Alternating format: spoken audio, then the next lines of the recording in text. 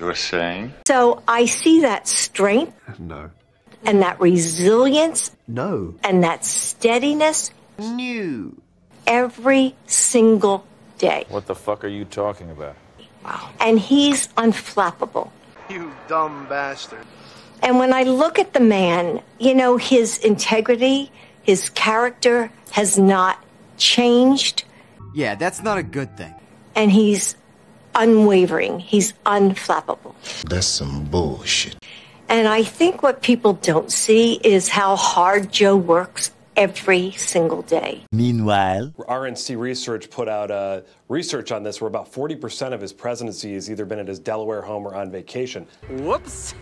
That he gets up thinking what he can do for the American people.